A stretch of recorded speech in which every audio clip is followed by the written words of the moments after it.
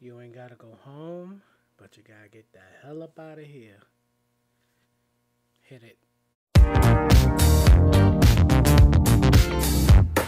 Everybody, it's your favorite friend, Blonde Ritchie, and welcome home. Come on in, child. And today, I'm to be getting rid of this ugly orange hair.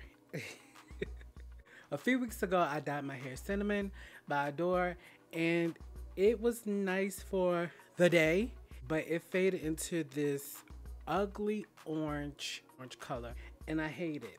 Hey, boo, guess what? I hate you. Delete yourself from my life. Now, I could put a darker color over it, but I really don't want to.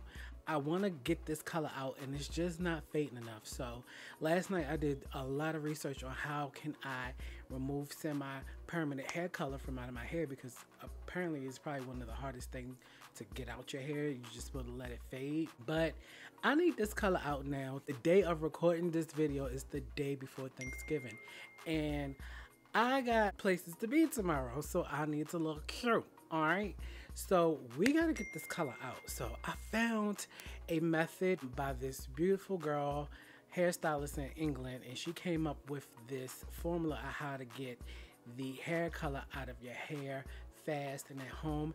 And it's simple ingredients that you can find at any store and just one ingredient that you need from the hair. So the first ingredient is 10 volume developer and you get this at any beauty supply store the second ingredient that you're going to need is baking soda and you know you can get this from any any store the third item you're going to need is dishwashing liquid you know you can get this from any store i heard that dawn is the best at this process but i'm pretty sure any dishwashing liquid could work but i'm being told that dawn is the best. And the fourth ingredient you're going to need is shampoo.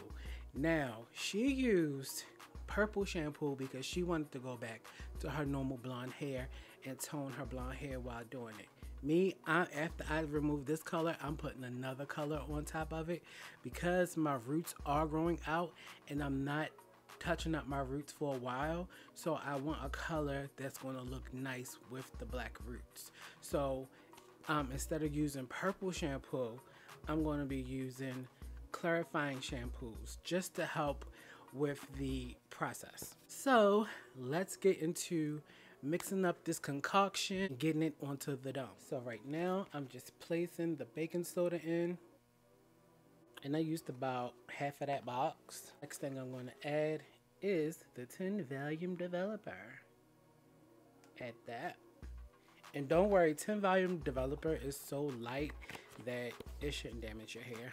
Also, another great thing about this method is that it's supposed to be damage free. I was scared to use other methods like the oops and other color strippers because I heard they could be damaging to your hair. So I'm going to add the dishwashing liquid now. And she said two squirts, so that's one squirt, two squirts. And now I'm going to add the shampoo.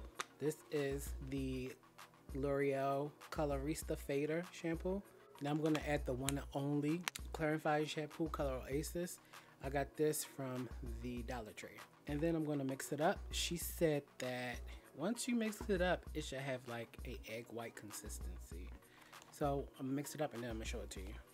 So here is the finished product. And it has that egg white consistency. Not too thick, yet not too thin. So what I'm gonna do now is I'm gonna put on some gloves and we're gonna start, you know, putting it on the dome. Put it on the dome. So as I usually do, I'm gonna put a little bit on here and then I'm going to escape and put the rest on in the mirror where I can like see really good. So I'm just gonna apply to my hair and make sure that it's saturated really well. I'm gonna scrub in and scrub down as I'm going just to activate it a little bit and see if we can uh, scruffy some of that color out. Smells good. okay, I got some of it in there. So I'm gonna disappear right now and I'm gonna put the rest in and I'll be back once it's in. All right, so it's all in everybody. So I'm gonna let it sit in my hair for about 45 minutes to an hour. I'll be back in about 45 minutes. Hey y'all, I'm back and from the looks of it, it is all out. It has not even been 45 minutes yet. So I want to hurry up and get this out of my head. I will be back once I rinse everything Everybody, out. I'm back. I washed everything out and yes, it definitely stripped the color. I am back to blonde. Just like that.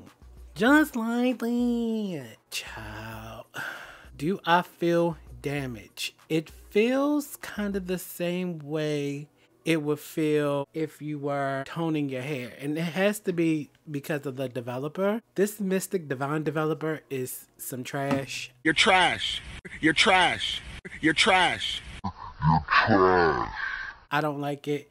I'm not using it again. It doesn't feel gummy or anything like that. So I will be doing this method again if I have to remove color, but it's not something that I would do on a regular basis. I would really have to hate the color in order for me to do this. And I hated that orange with a passion. I hated that color. Okay, you guys, so I'm about to do another video where I'm going to be dyeing my hair. I will see you guys in the next video. Please like, comment, share, and subscribe. And I will be linking the video to the original person who did this method, who created this method. I will be linking that video below so you can watch her method too, just in case you want to make sure I didn't leave anything out or something like that. But until next time, you guys, peace.